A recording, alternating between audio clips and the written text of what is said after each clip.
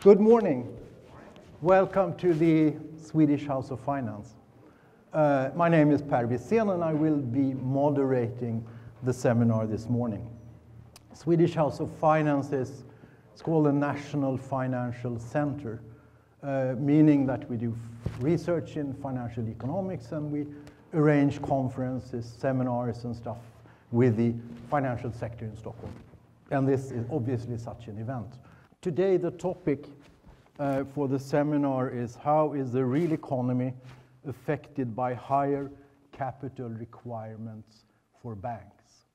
And we are very happy to have Professor Stephen Cecchetti, uh, who is Professor of Econo International economic at the Brandeis International Business School. He has served as Economic Advisor and Head of the Monetary and Economic Department at the Bank of International Settlements in Basel. And so he has worked with creating, formulating the rules and the regulations that we will be discussing. His research interests include monetary policy, economics of financial regulation, macroeconomic theory, price and inflation measurement, and he has published, uh, among other things, a leading textbook in money and banking.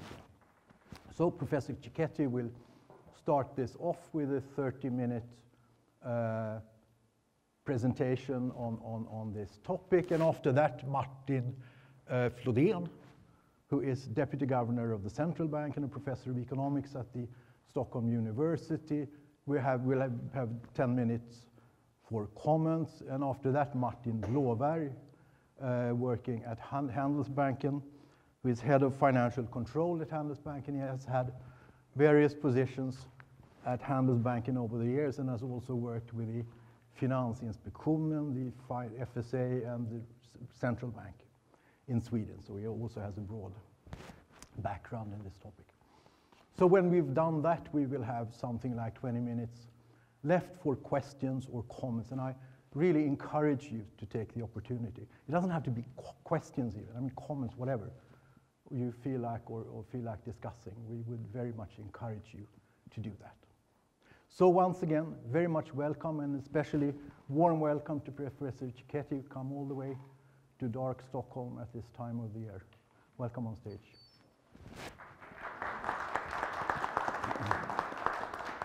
Thank you, uh, thank you very much for that kind introduction. Uh, um, so this is, uh, this is this is really a discussion about the differences in view between the official sector and the private sector. Uh, and um, if I start in 2010, for some sins in a previous life, um, I was asked to do a study of the impact of higher capital requirements on macroeconomic activity. Uh, I was asked to do this by the Basel Committee and the Financial Stability Board, and uh, and of course the question was, how do you do this? Um, so we sort of made up all sorts of ways of doing it. Um, and we came up with a bunch of answers. And then at the same time, this thing called the um, International Institute of Finance, which some of you I'm sure are familiar with, uh, a, basically a lobbying organization for large global banks. Um, they did a study as well. Um, it was a very different style, but that doesn't really matter. Um, and the, the the differences in the estimates of the impact of the higher capital requirements were quite stark. Um, the official sector estimate was that if we implemented the Basel III capital requirements, which are quite a, quite, quite a bit higher than pre-crisis 2006 agreed capital requirements, I'll show you in a few minutes how much higher, uh, that it would have only a very modest impact on macroeconomic activity, while the private sector's estimate was that the world was going to effectively come to an end as we knew it. The difference was three percentage points of GDP decline relative to baseline uh, rather than a quarter of a percentage point. So those were the, that was the range, okay? And that's a pretty big, that's a pretty big, that's a pretty big difference. Um, so I guess I could stop right now and say, well, the world didn't come to an end. Everybody has higher capital, and so why are we all so worried about this? But, uh, but I think that uh, I think we have a little bit. I have a little bit more to say about this. So um, it's it's great to it's great to be um, doing this in a at the Stockholm School of Economics because um, because I can talk about the economist's view of this. So the first thing is that the first thing I want to say is that when a when a banker comes and tells you that capital is expensive relative to alternative funding mechanisms, they're telling the truth. Okay, they're not just making it up. It is expensive for them. Uh, but it's private. That they're telling you their private cost. They're not telling you the social cost of capital. And the reason that capital is expensive to them has to do with a lot of distortions that we've built into the system. It has to do with tax distortions, the differential taxation of debt and equity. It has to do with limited liability and government guarantees, which have the same basic impact of giving the owners an, of the bank a put option to put the bank back to the public sector in the event of insolvency. Uh, that gives them, I mean, the first one just drives a wedge between the costs of equity and, and debt. The second one um, means that they're going to want to run this thing um, with as little capital as possible because it gives them the highest option value they can possibly get. Okay, and then they're also going to take a lot of risk. The third one, which was the one that was that I I guess I I find interesting, possibly because it was something that I I hadn't realized until I got deeper into this um, several years ago. I guess well now more years ago than I want to remember, but um, but the the the last one is that is that investors, especially institutional investors, um, they reward banks for taking on leverage. So if you go to your like introductory finance class, in your introductory fin finance class, at somebody at some point early, very early on, somebody says something like, if you take more risk, then you have higher you have to reward people with higher expected return. Okay, and so risk and risk and and return, uh, expected return should be positively related. Okay, so that suggests that if you reduce, so naively I thought, if I reduce the riskiness of a bank, that then they should be able to operate at a lower level of expected return, and people would be equally happy. Okay. Um, so yeah, there's distortions that arise from this option value associated with, uh, with limited liability and government guarantees that want people to take more risk, but the investors in this should be, uh, should be, there should be some way in which they're indifferent. This turns out to be wrong. There's a perverse impact of this because a lot of institutional investors have restrictions on their own ability to issue debt. So imagine that you're running a pension fund. That's a, the best example um, or, or something like that, or you're an asset manager and you would like to issue debt. You would like to leverage yourself. But you can't because either, either your, um, either the requirements under which you're actually operating and your agreement with your investor says you're not going to issue debt, or there's some legal restriction on your issuance of debt. Well, what's the second best thing that you can do? If you can't issue debt yourself, you buy a leveraged asset. And you mix that leveraged asset in with all your other stuff, and your portfolio effectively behaves as if you yourself are levered. And you're willing to reward the people that take the leverage for this. You're willing to pay for this, essentially. And in paying for that, well, in paying for that, what you do is you break at least at the margin, this relationship that we all thought was sort of hardwired that we learned in introductory finance. And what better way to get leverage, what more leveraged entity that can you find than a commercial bank? Right? A bank is a a bank is very highly leveraged, right? In, in the even today, I guess I'm standing in a place where your banks are leveraged 20 plus to one. Striking number, but okay. Um, and uh, in other parts of the world, it's, it's, uh, it's, it's similar. The US is not. The US is lower, but that, that doesn't matter. So investors are, so the point here is that this is all about private costs, though it's not about social costs. And so what we want to do, though, is we can go and ask ourselves whether or not the social costs are bigger, are big or small for this. And one would expect that since a lot of these things are various distortions in the system, that those social costs might not be very big. So what I want to do is I'm going to first talk about what's happened to capital in the banking systems around the world and then I'm going to talk about what's happened to bank profitability and macroeconomic activity. So the first thing is that left to their own devices, banks hold too little capital relative to what's socially optimal, for sure. Okay? And uh, the question then is whether they have social costs. Whoops, what happened? There we go. Okay. Oh, sorry. So I'm, I'm going to I'm going to talk about these four things: capital requirements, themselves, the level of bank capital, bank performance, and aggregate activity. And I'll go through each one of them pretty quickly. Okay, so the first one is, is the capital requirements themselves. So this is a, this is a, uh, these are rough approximations that, that I made um, several years ago of what the difference is between the Basel requirements and the Basel III capital requirements. So Basel III did, did, did a couple of really major things relative to Basel II. Okay, the first thing that it did was that it tightened the definition of capital. I'll, ta I'll talk about that in a second.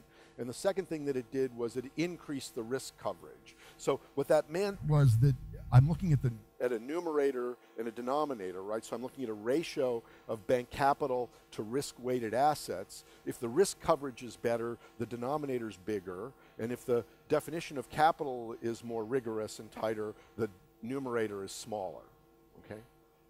So I can look and say, what if I take the Basel III definitions and apply them to Basel II? And what was the effective capital requirement under Basel II using the Basel III definitions? And the answer uh, turns out to be definitely less than 1%, probably less than a half a percent. And you can compare that to the Basel III requirements of 8 to 10%. Okay? Now, people didn't have, most banks didn't have capital at these very, very low levels, but that was the requirement. Okay? Um, I'll give you one of my, my favorite example of something that was, call, was considered capital under Basel II that doesn't make any sense is deferred tax assets. So if a bank's making losses, then the tax authority allows them to carry forward those losses to write off on their taxes against future profits. Okay? Sort of makes sense, right? That turns out to be, in an accounting, in most accounting frameworks, that is an asset. The future, your ability to write off future profits is an asset today. Okay, that's fine. But is that, is that a buffer that creates resilience in the face of future losses. Is that something that, say, could be realized in insolvency? Seems pretty crazy to me to say that deferred tax assets are loss absorbing in stress. So counting that as a counting that as an asset that then adds to capital, it seems to me is sort of silly. So that's that was changed. So a number of these things were changed. So now, what I the, the message of the message of this calculation is very simple. When um, when you hear, as you do, authorities say that capital requirements have gone up by by 10 times, what you should what you, you should immediately ask yourself is relative to what? 10 times a very, very small number is not necessarily a big number. And so you really want to be careful with this. Um, because my question is whether the 8 to 10% range that we have now is actually high enough. Um, now, what's actually happened is that um, is that ratios have gone up quite a lot. This is a, so th this is a complex calculation to do and I didn't do it, but the Basel Committee itself does a um, semi-annual, twice a year, quantitative impact study where they survey, um, they, they actually in total survey about 200 banks, but only, um, I guess in this case, I think this chart is 92. This is a, this is a consistent sample. Um, they survey, this is 90, roughly 90 banks that have, um, that have tier one capital of 3 billion euros or more. Okay? So these are not all really big banks by any stretch of the imagination, but they are the 100 or 90 or so biggest banks in the world. Okay? So that's the line, 3 billion euros for tier one capital. So if you're if you're leveraged 20 or 25 to 1, that means that these guys have assets in the range of 50 to 75 billion euros.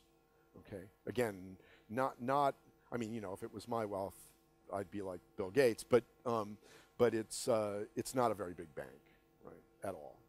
Um, so they cons- they construct um, estimates of risk-weighted uh, capital ratios and unweighted leverage ratios for this uh, sample of banks on a consistent basis for fully phased-in Basel III requirements. So Basel III requirements in different jurisdictions have been phased in at different at different speeds um, and different rates with, uh, with, I guess, the final date when everyone is supposed to be fully phased in uh, being not December 31st, 2018, but because it looks better, January 1st, 2019. Um, so that difference was, there was, a there, there was actually a negotiation over that day because somebody wanted to be able to print 2019 rather than 2018. Uh, nobody cared um, okay. So here's what's happened. This is a pretty big increase. So this is again under the fully phased-in Basel III requirements. Uh, leverage ratios are up three percentage points, unweighted leverage ratios, and uh, risk-weighted assets are up, up uh, more than six and a half percentage points on average across this entire sample of banks. Okay. So if you look at this and you say, well, you know, is the world, is the financial system more resilient today than it was in 2006 or 2007? I can't go back that far, by the way. 2009 is, is the best you can do with this. Um, the answer is yes. It's much more resilient. There's much more capital in the system. There are much higher buffers, not just, not just here. Okay. Um, now, if I look across if I look across different regions of the world, um, I see also I see fairly big, uh, fairly big increases. Somewhat, the, the, the, interesting thing about this picture, and the only reason that I'm showing it to you, is that the increases in the emerging market countries have been smaller because their banks actually had much more capital to begin with. Um, you know, there was this great moment in 2008 when I was in a meeting and there were all these people from these central bank governors from around the world and the and the emerging market guys, one of them stood up and said, "This time it wasn't us." you know, so that that was uh, they were I mean, they were getting they, they, they were they were suffering, right? Because of course they're suffering from what's happening around them, but uh, but they weren't the cause of it. Um, so the, the other thing is that we can actually look, people have looked and asked, how do they do this? So there are two ways that you can, well, more than two ways, three ways, I guess, that you can raise your capital, risk-weighted capital ratios, right?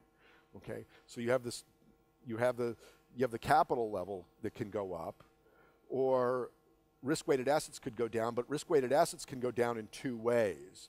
They can either go down by having the riskiness of your existing assets shrink, so the size of the asset, overall asset stays the same, but their riskiness falls, with what people refer to as risk density, um, or the total level of assets themselves go, uh, go down. And in different parts of the world, uh, different things happen. This is a bit complicated to look at, but um, the black dot is the amount that things went up.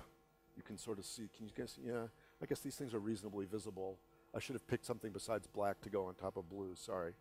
Um, um, and um, what you see, so the, the blue part here is the amount of increase as a consequence of raising capital levels.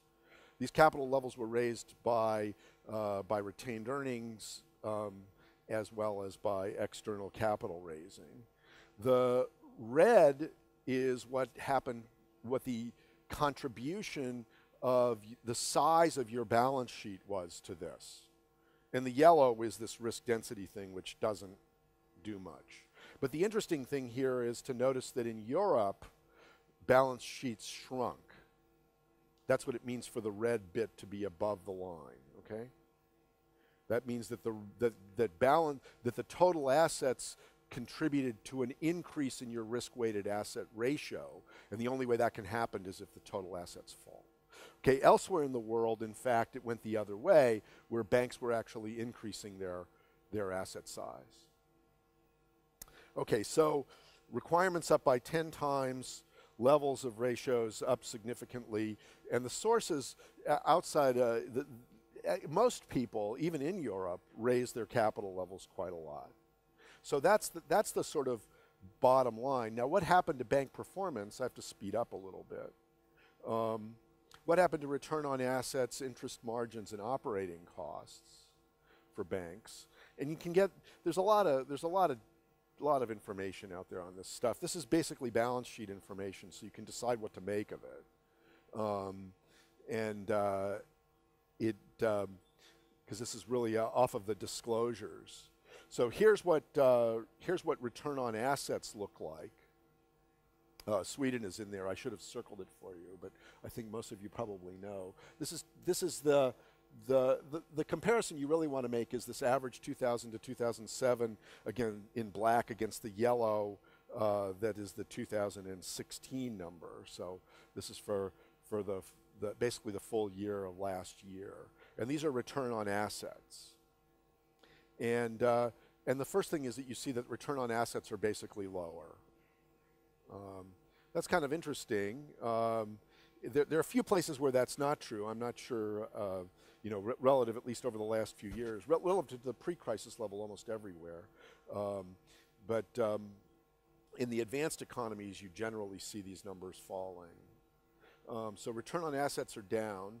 This, this one I find particularly interesting because in the, in the studies of the macroeconomic impact of capital requirements, the presumption is that, um, that interest margins are actually going to be roughly constant. And as interest margins are constant, if costs rise, that then um, that then lending rates will rise, and those higher lending rates are going to result in lower lending volumes. And that's where the contractionary impact of the capital requirements comes in the macroeconomic level. But that's not what, what we see is actually not that. Um, you see net interest margins falling. Now, this turns out to be, this is, again, not, not uniformly true absolutely everywhere. Um, but the numbers, the places where, the, where, where you don't see the, where there isn't a, a sort of steady decline, um, it's a little bit bumpy and uh, it's certainly lower now than it was in the pre-crisis period. I just want to show you, I, I was able to um, these data exist for U.S. banks very easily. Well, it's easy for me to get them. Let's put it that way. Um, and and I, uh, I I've been. I'm, I'm fascinated by the fact that net interest margins in the U.S. have basically been falling for a quarter of a century. Uh, again, this is a little bumpy. It goes, you know, sometimes it's gone up a little bit, sometimes down. Macroeconomic conditions matter for this. The exact uh, the exact composition of the uh, of the bank sample changes a bit. You have to be a little bit. I'm not being careful at all about the fact that in 2008 suddenly uh, there were a whole bunch of people who used to be investment banks that became commercial banks. These data are for commercial banks, so that means that like Goldman Sachs was not in the earlier sample, but is in the last later sample and stuff like that. But generally, what you see is you see a decline in net interest margins. So this is not, this is not, I, I guess if you think about it and you say, well, you know, if competition is improving and technology is improving, one would expect to see something like this. It's sort of, in some sense, um, reassuring to see this. But the net interest margins for all, yeah, Casper? They're, pardon me? Um, th this is, these are net interest, these are just net interest margins weighted by assets, right? So this is going to be, this is to be total net, this is going to be total interest net interest income divided by, um, no, it's just the total, it's the net interest margin. It's the difference between assets and liability it's got nothing to do with risk, zero to do with risk, right? Um, yeah, so I mean, I, I, guess one answer could be that, that somehow I'm doing less risky business or I'm better at diversification, right? That would be the other possibility.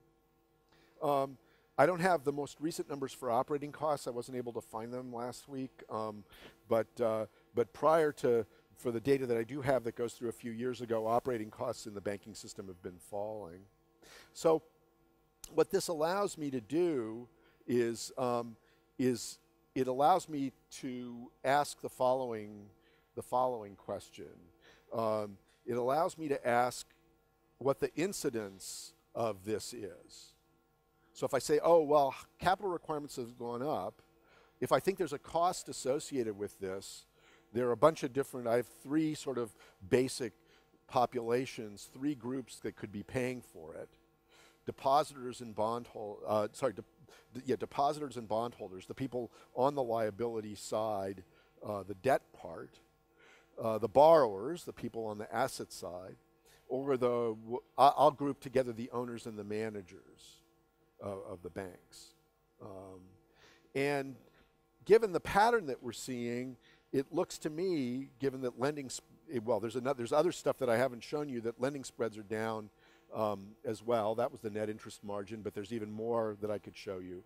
Uh, dividends are actually down and operating costs are down. So it really looks as if the owners and the managers have paid. So if I'm worried about, if I'm worried about macroeconomic impacts, and I look at this microeconomic evidence over the last um, decade, I'm gonna I'm, I'm gonna have a hard time from the very beginning uh, thinking that I'm gonna find uh, any serious impact on the on the on the borrowers, and that's got to be the mechanism through which macroeconomics is affected. So what has happened to aggregate activity? Um, so the first thing is that bank debt to GDP in uh, everywhere except for except for these places on the left-hand side of my graph, um, have actually has actually uh, pretty much gone up or been roughly the same. Now, um, now I, I, I have to say that people come and when people used to say that they're worried about capital requirements impact on lending behavior, I think the natural reaction should be that 2006 is not a good benchmark. I don't want lending behavior that looked like 2006. So don't come to me and tell me that I'm not getting lending as easy, that lending is terms and lending volumes are not what they were in 2006. Okay? Um, that's not what I want. I want lower lending. Um, so in some level, maybe this is a problem, but I have increases in bank debt to GDP basically in outside of Spain, Ireland, and Portugal. Okay? Now, um, so that's, that's the macroeconomics. If I go back to the individual bank behavior, um, I can ask the following question. This is all individual bank data. This comes from a paper by, uh, by Leonardo Gambacorta and Hyun Shin. Um, and it looks at data from 1994 to 2012. And they ask the following question What's the impact of bank capital on, um, on lending volumes and also on, uh, on costs for banks, the costs of debt? And the answer is that higher, um, that, uh, that, that if I, um, if I have a, so this is the leverage ratio on the bottom, okay? So as the leverage ratio goes up, my capital levels go up. So higher capital is associated with higher lending, okay? With more lending growth. Now, I think that um, the, the way that you want to think about this is that strong banks have lower funding costs and they have higher lending volumes. Weak banks do really bad things. Weak banks tend to lend to crummy borrowers. And, and what you should have in mind here is the 1990s in Japan. Uh, because there seems to have been, people are now studying quite actively what happened in Europe in the aftermath of the OMT announcement um, and uh, what is essentially regulatory forbearance in, in the euro area that started in 2011. And what, you're, what they're finding is the same thing happened in continental Europe as happened in, uh, in Japan, which is that, um, that you get zombie, ba- zombie banks lend to zombie firms, okay? So they want to keep each other alive. So my, my line on this is strong banks lend to strong borrowers. That boosts growth. That's good. Weak banks lend to weak borrowers. That not only hampers growth, but it reduces the resilience of the system. It reduces the resilience of the system both for the banks, which are now even weaker, and for the um, and for the real economy because now you have a misallocation that's occurring because you're keeping alive firms that should not be alive. So, um, so what are the implications? What are the implications of this? Um, and uh, and this is a, and then I'll finish. I'm taking too long. Um, the implications of this want to think about this. First of all, what's the implication for the level of capital in normal times, and what are the implications for time varying capital requirements? And, and I'll be very quick on what's the right level. So, my view of the right level of capital, I don't really have time to talk about all of this. Okay, so let me. Uh, this is an interesting picture, comes from an IMF, uh, comes from an IMF study. Uh, and uh, it, it, asks the following question What would the level of capital have had to have been um, if I look across the, the post 1970 financial crises, banking crises across the world, in order to avoid public losses, public sector losses? Um, and, uh, and the answer turns out to be that to absorb 90% of crises, you need risk weighted asset ratios of about 30%. Um, uh, which I should say is not hugely different from what capital plus this, uh, this total loss absorbing capacity debt stuff looks like. So it's not that. Um, but my view is that the right level of capital is probably higher than we have now. And I think that we ought to raise capital requirements until we start seeing some real effects. Um, and the two things that we would see, which we have not seen, is constraints on credit supply um, credit is still available to people who should be borrowing. um, and a migration of intermediation outside of the regulatory perimeter in a way, specifically in a way that increases systemic risk. I would warn you that not all shadow banking activity, not all activity that migrates from banks increases systemic risk. A lot of it goes into, into things that are basically equity financed or not, not very highly leveraged or very small and it's hard to argue that those things are somehow systemically bad. Um, and on time varying capital requirements, I'm not a big fan of these. Um, the, the question is what they're supposed to do. And I guess the, um, there are two possibilities that people have suggested. Possibility number one is that they're supposed to, um, that they're supposed to constrain credit, and number two is, is that they increase resilience. And I'll, I'll just quickly say that I don't believe that they can do the first. So capital gut buffers are for resilience. So just to conclude very quickly, capital requirements and levels are up. The incidence of higher capital requirements, if they have any private costs, are probably on the owners and the managers of the bank, not on the borrowers and the depositors. And as a consequence, the macroeconomic impact uh, has been extremely small, if any at all. And the implications are that the cost of raising capital requirements further appear to have very small social costs. Um, and, uh, and that if you do want to get in the business of having time varying capital requirements, make sure you think about it as a way to increase resilience, not as a way to control credit. So I'll just stop there after taking too much time. So thank you very much.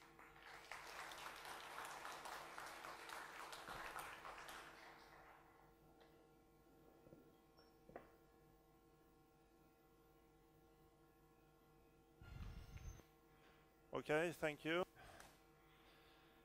So I'll try, I have a number of slides. I'll try to be quick, but I don't really disagree with anything I think that um, Stephen said. So I can, can be quick in that sense. My plan is to, um, is it F?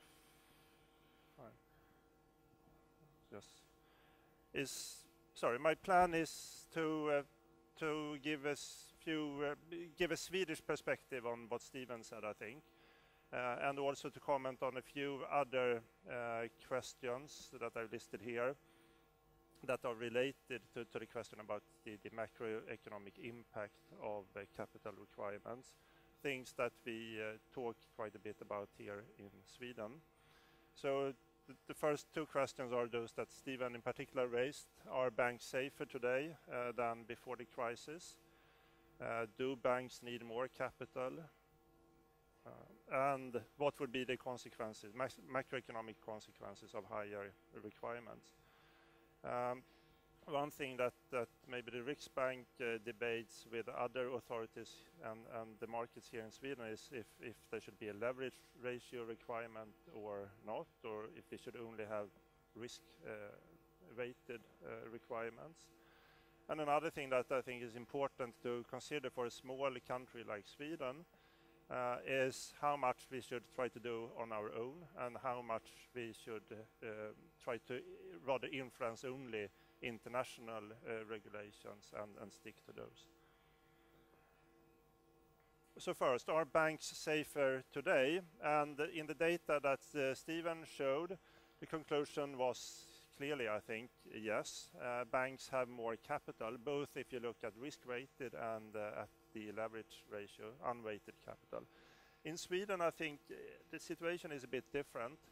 Risk-weighted capital has increased much more in Sweden than the global average. So the global average, I think, is was it a bit over 10% risk-weighted? In Sweden, it's more than 20%, up from uh, a bit less than 10% before the crisis. So here it's up by, I think, uh, 12 percentage points rather than 6.6 in Stephen's data. But if you look instead at the red line, uh, just capital divided by total assets, bank capital over assets, not risk-weighted, the increase is very modest. So in Sweden, what has happened is clearly that risk weights today are much lower than before. And it's not because uh, the balance sheets have uh, been uh, are smaller, rather the opposite, actually. Banks have much more assets today than before the crisis. So there has not been a credit contraction at all. It's not really that the assets are less risky either. To some extent, I think it is. The fraction of mortgages is a little bit higher today than before, and mortgages have very small risk weights. The uh, fall in the risk weights is totally dominated by new assessments of the same risks as before. So this is basically a development of the Basel II uh, framework, I guess, with more internal models and banks more and more setting their own risk weights and developing the methods to assess the risks.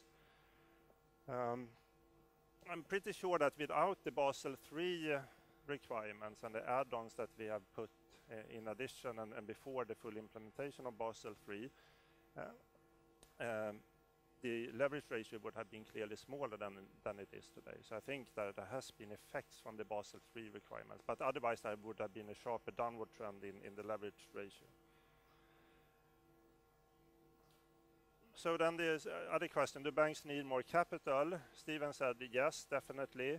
The Riksbank also says yes, and we have a recommendation. So this statement is taken from our recent uh, financial stability report that we published, I think, two weeks ago. But we've had similar statements, uh, recommendations uh, for a number of years now. We think that we should have a leverage ratio requirement in Sweden at 5%. So today, the average for the four major Swedish banks is around 4.5%, I think. It has increased a bit. So it, this is not really, we are not really saying that they need a lot more capital, but at least a little bit more capital than than they have. So, so what would be the macroeconomic costs of uh, forcing banks to have more uh, capital?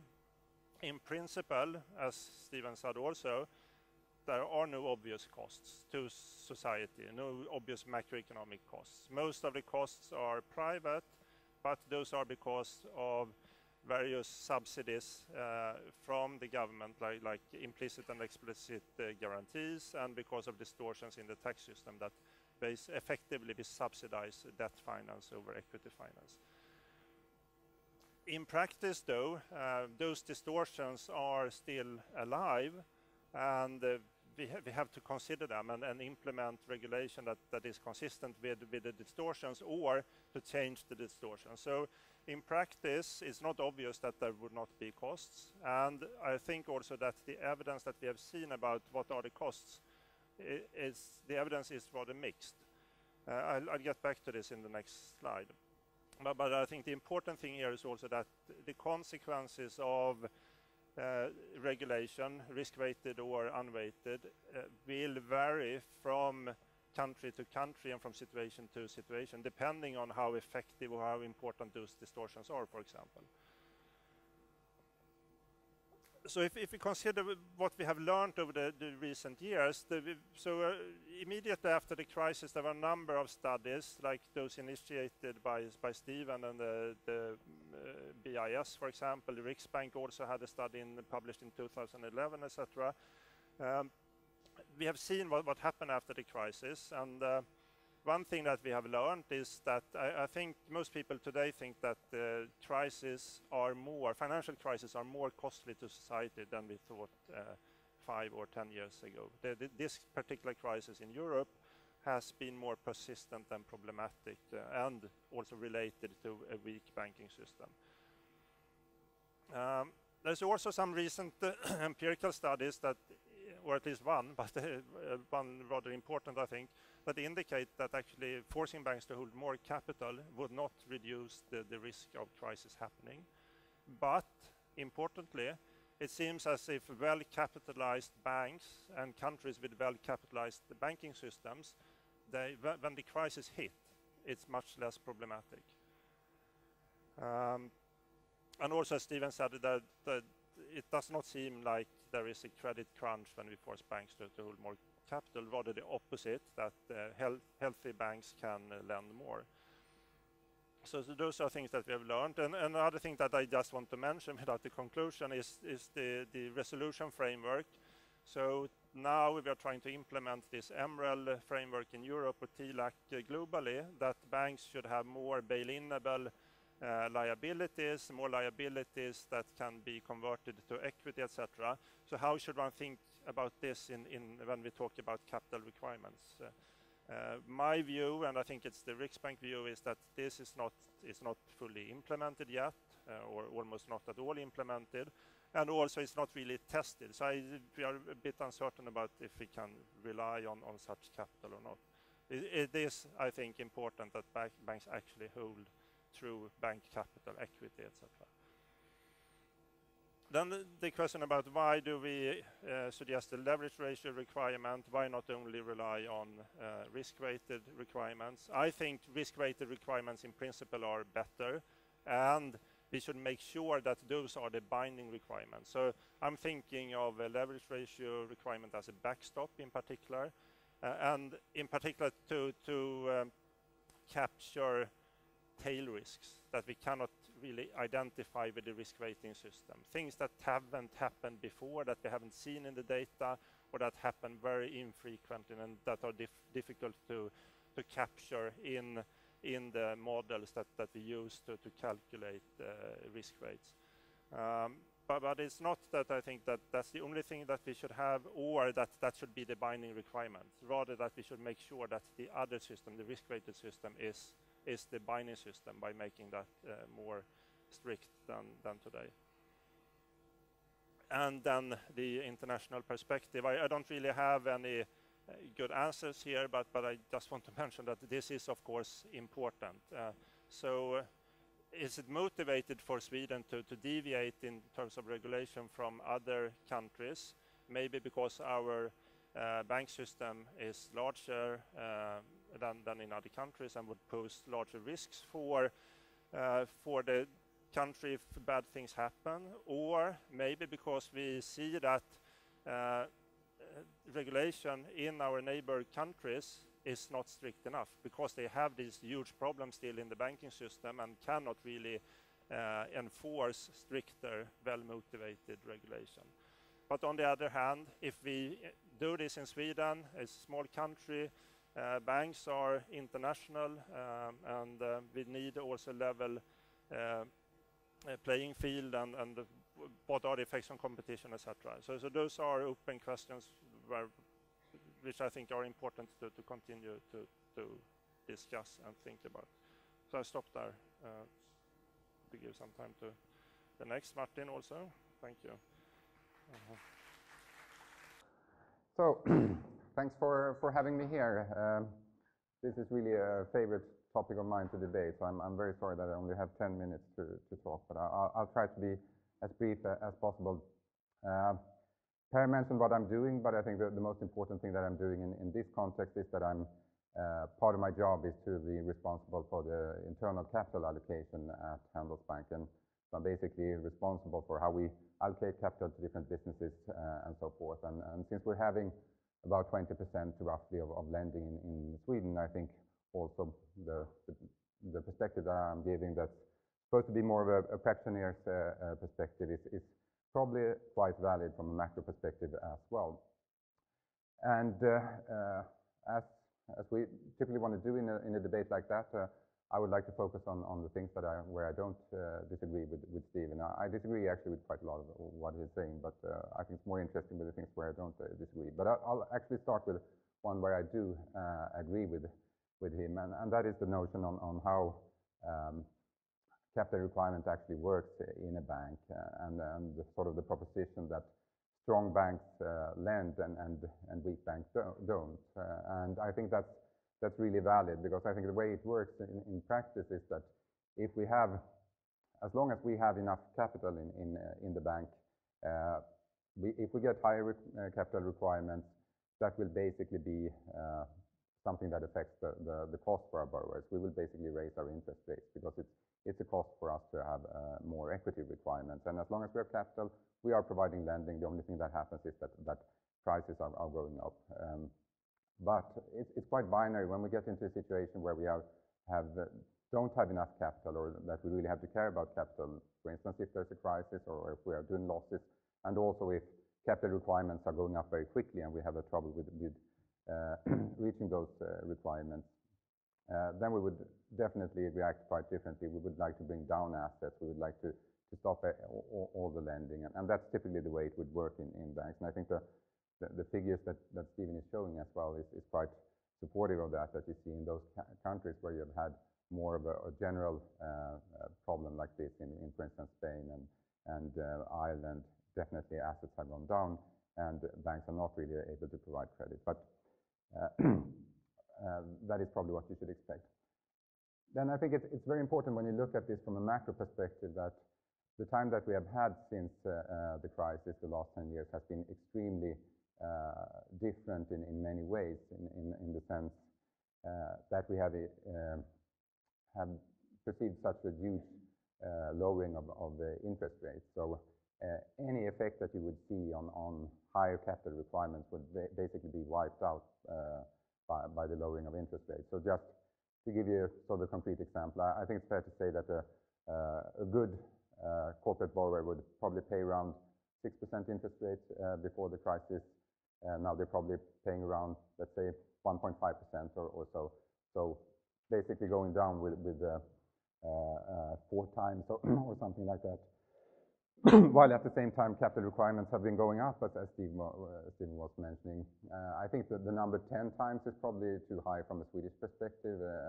I've been thinking about this and also looking at the Oliver Wyman study that was done a year ago from a Swedish perspective. Then you're talking more probably about three times or something like that. And the greatest difference compared to the numbers that Stephen was showing is that we never had uh, as much uh, non-equity capital in our system. We were only allowed to have like, 15% of non-equity uh, in our Tier 1 um, ratios. And then we were also basically nobody could have 4% capital requirements. We were having around 6, 7%, and I think that was sort of, a in practice, a restriction that we had.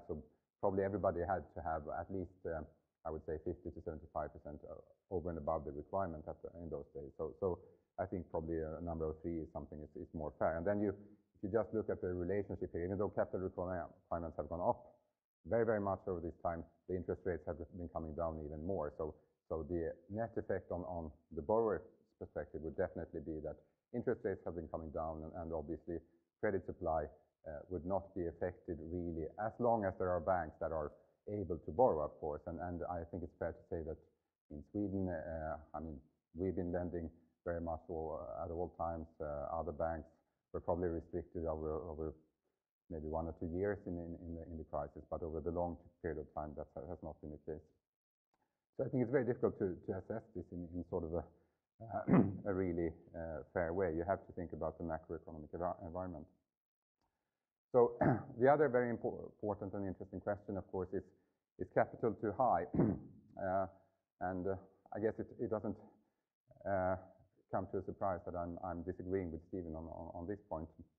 Um but I think one I'm of course looking at this from a Swedish perspective, and I think one big difference in Sweden compared to sort of the rest of Europe or the rest of the world is that we probably have around 40%-50% higher uh, capital requirements already uh, uh, compared to other countries. Um, and maybe Stephen would be happy if we were raising all the capital requirements with 40%-50% for everybody.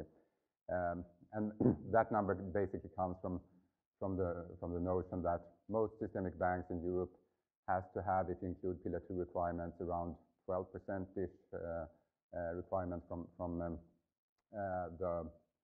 their their authorities, while we need to have sort of 17, 18 if if you adjust for mortgage risk weights and and some stuff like that. So, so I think probably we are at around 40%-50% higher than than the rest of Europe and the rest of the world at this point. So, so maybe that's uh, uh, also an important uh, difference, um, of course. So, so, when I'm I'm looking at at Stephen's condition, which I think are very interesting and good, but whether we are at too high capital requirements, I would basically tick the boxes on both his uh, issues. Uh, the first one was that whether uh, the monetary policy would be able to sort of have an impact on credit supply. And I think when we are where we are in Sweden today, we basically have no interest rate at all, zero interest rates. At this point, it is all about pricing. But if we are getting into a worse situation or if interest rates are coming up, there wouldn't really be much room for for for uh, um, uh, changing uh, interest rates in a way so it actually affects the credit growth. So I think it's quite likely that in in, a more in a downturn, we wouldn't really see we would see restrictions on on the credit supply maybe as well. And the other point about disintermediation, I think we're definitely at the point where capital charges are so high that everything that is possible to to get out of the bank's balance sheet, uh, you're definitely doing that. So in Sweden, for instance, on the large corporate side, we see very strong move uh, where all large corporates that are able to to borrow on the markets are are basically doing that. Uh, I was looking at figures. If you look over the last four four years, um, about 62% of all new credit growth in the corporate sector in Sweden came from borrowing at the markets. On bond markets, 38 came from banks. And then you should remember that we have a lot of SMEs that can't uh, borrow on markets at all. So we have a very strong tendency to where large corporate credits are going to bond markets, definitely going in the direction of uh, where you where the U.S. is. And you can also see the same sort of incentives, even though we haven't seen that development that much yet uh, on the mortgage side. The cost of having mortgages on the bank balance sheets are really quite high. And um, uh, if you have like an interest margin on perhaps 1.5% uh, or something like that on the mortgage, and you have a capital cover cost that is somewhere between 50, 70 basis points, which which you have in the bank, but which you don't have in other institutions, you would definitely have very strong incentives. And and we've seen that in the Netherlands, for instance, where about 30% of mortgages are now done with insurance companies rather with banks. So so the incentives are definitely there. Uh, we haven't really seen them materialize that much in Sweden yet, but uh, I think uh, they are very strong.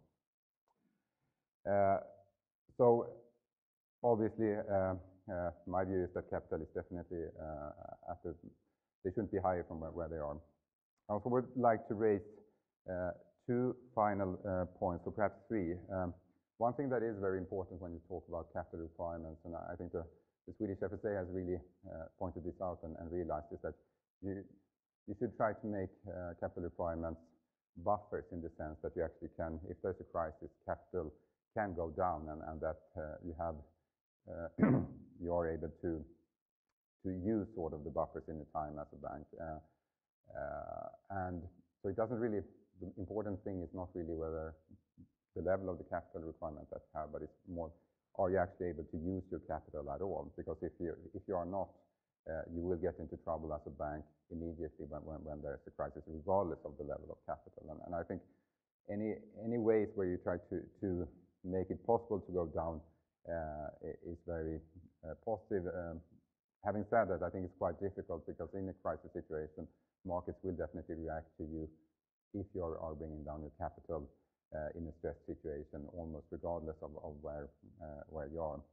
But also on, on notion of, of, of uh, cyclical capital requirements and, and counter-cyclical buffers, I think they could be quite useful um, uh, in the sense that I think Stephen mentioned as well, that if you are able to actually take away uh, some buffers in, a crisis or some requirements in a crisis, that could be quite uh, useful. the other point that I would also like to make is, the, big difference that we have today when we really have worked a lot with crisis management, resolution, bail-inable debt, and, and all that stuff that has come up. I think uh, at this point, it's quite uh, it's quite clear to, everybody, and, Stephen showed it as well, that uh, the ones who are losing in the crisis is basically the bank um, owners and probably also the bank managers. So if there's a trouble in the bank, the equity will definitely be, wiped uh, these days. And that is the most important thing, really, because it is the, the, owners and the managers who are basically driving the bank, managing it, the incentives are important uh, for them, that they are really all there, they have all uh, the skin in the game, so to speak, when it comes to, to banks. So, uh, and, and I think we are in a situation where they will definitely lose all their money.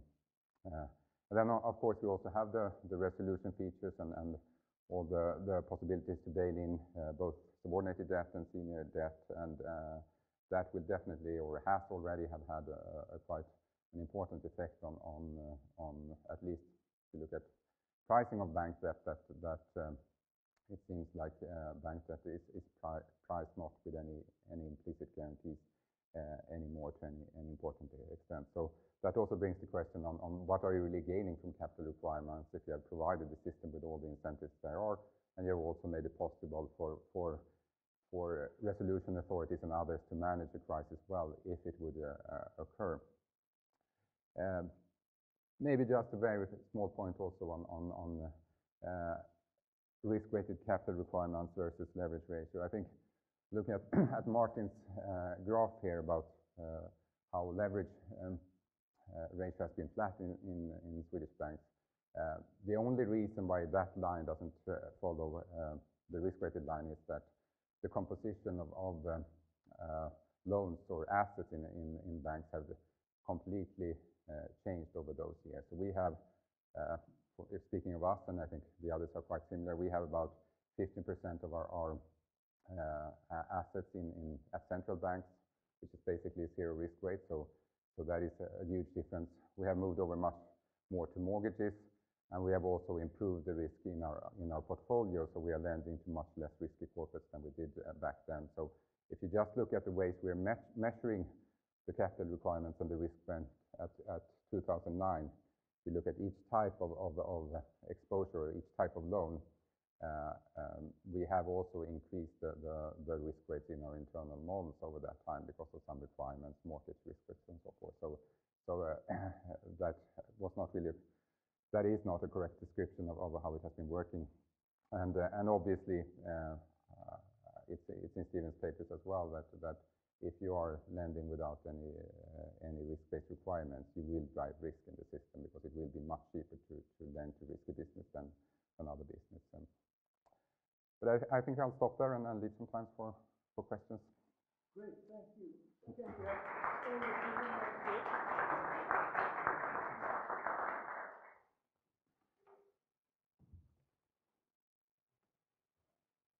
we have 15 minutes for questions and/or comments. While you think about your questions and/or comments, Stephen, would you like to comment on anything that Martin or Martin said? Um, well, I guess I, will make one, a couple of very quick comments. The first one is that my rule of thumb was when I was doing this, was that if the bankers weren't complaining that I was doing something wrong. So, because, and that's the rule, by the way, when private costs and social costs diverge, right? They should be complaining. If they're not complaining, then I haven't gone, then I haven't gone, uh, far enough. Um, and, and another thing in that same realm is I never understood why banks thought that they should be able to have the same ROEs as pharmaceutical companies. Um, pharmaceutical companies bear enormous, enormous tail risks if they start killing people. Um, they don't get bailed out by the government. Um, and so their normal time ROE could be high. Banks don't have that because I grant that there's all this other, stuff. I, I, I think it's, I, I agree with, with Martin number one as opposed to Martin number two. Um, I, I, I agree that, that the system is untested in the sense that we don't know whether the governments and the politicians are really gonna allow the bail-ins to occur. It, the bail-ins are a great idea, but, um, but the, the fact is that people are gonna have to pay the price if you do it, and, um, and politicians don't usually like that, so, um, but I'll, I'll stop there. Okay, please, the floor is word. Thomas, you need a microphone. This- This is being filmed and people will be looking at you and and listening to you. Please, Thomas Thank- Franzén. Thomas Franzén. Uh, I relate to your uh, earlier comments just uh, because the the banks in Sweden aim at a return on equity of around 15%, and that seems to be a very high level. And it also is an indicator of the fact that competition does not function very well in the Swedish market. So I wonder, what would be the impact of an increase in competition, uh, meaning uh, leading to around a, a target of 10% instead? That is reducing the oligopolistic structure in Sweden. Okay, before you answer that, maybe we are a bit short of time. If there are any other questions or comments, we take them and then you answer, you get a smorgasbord of questions. Please, Casper. Microphones come. You have a, you have a microphone. I have a question to Steve. You, you talked a lot about levels of capital, but you didn't s- say so much about how to get at higher levels of capital. You want to say something about what would be a good way to increase capital requirements or capital in general, not, not requirements? Thanks. Okay. Could I throw in a last question then? Um, The effects of capital requirements. We don't see a whole lot on lending demand or or lending rates, but other, Martin said, Martin Blåvarg said that you are removing any assets you can from the balance sheet because it's it's expensive to have them on the balance sheet, like banks are removing trading portfolios. Market-making systems don't work the way they did because banks are reluctant to hold those assets. That in turn has consequences for liquidity in bond markets. Uh, we see in Holland more uh, mortgage lending done without any intermediaries, lending going directly to the insurance companies. And there are firms looking at this, trying to find new, new solutions. Do you see any cons- what sort of, are there other things going on out there that could be good, could be bad, but sort of that needs more consideration. It's a very open question and a big one for five minutes, I realize, but, but I, I would like to hear all, all comments from all the three of you. So, was there another question? You want, yeah, please, sorry. Bankers Association. Uh, I just have one short question that uh, uh, when you look at the risk of banks versus other companies and you price it, shouldn't you look at the CAPM model and say that the beta for Swedish banks are around one and should have about the same risk, uh, the same cost of capital as most other companies, which uh, is also the case as far as I can see from the data. Thank you. Okay, this is a lot in five minutes, but uh, who wants to start? Martin Blåvarg?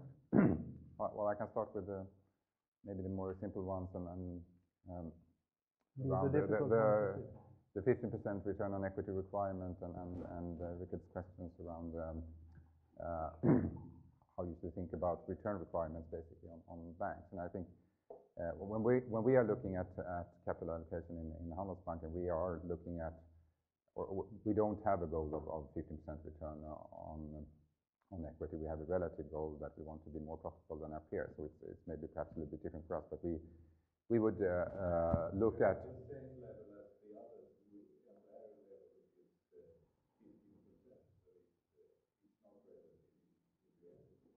Uh, But the way it works in practice for us is that we are, we are assessing the capital requirements on a deal-by-deal basis, basically, and then looking at the, capital requirements. And then we use uh, the return requirements from markets as an input in, that calculation. Uh, And basically, that is, you know, ballpark 8% and, and something before, if you look at the tax effect, you're a little bit above 10% uh, on, as a return requirement.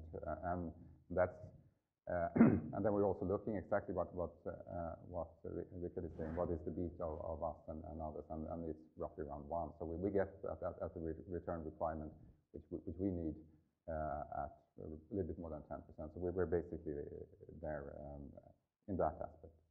Okay. Martin? Well, sorry, I don't have that much to to add. Just uh, one comment uh, about the um, the costs of our capital. I had this uh, thing with the market making effects on my slides. I forgot to say that. So I think the the uh, my reading of the recent literature and also listening to the discussion and seeing that market making and liquidity on many markets seems to be lower. That, that's one effect that we didn't talk so much about uh, five or 10 years ago. So, that's maybe one thing that weighs in, in the other direction, saying that higher requirements is, is more costly than we thought. Depending on what, what the assessment is of the importance of these market, market making activities. So it's, it's not obvious how problematic this, this, this is, but, but I agree that that's one thing that we should have in mind at least. Stephen, you have the Okay, last so, word. Yeah, the- the ve- very, I guess it- there's one minute. So on the market making, I was going to make a comment uh, if there was time, and I'll do it now because I was asked again. Um, So the- I think you have to think about a couple of things here. The first one is that, um, at least in my view, we were subsidizing market making before. And um, is that the right thing to do? Do we want to subsidize market making activities uh, because they were undercap, they were basically undercapitalized. There was no capital associated with trading book activities and were very modest and, and, and so we were, we were subsidizing them. The second point, I think this is more, is that when, when you look at the, when you look at market turnover in things like corporate bonds, it's always been tiny. So it's, again, this, now this is one of those things where you've fallen from one tiny number to a smaller, even smaller number. And it's also a case where there was never any liquidity under stress.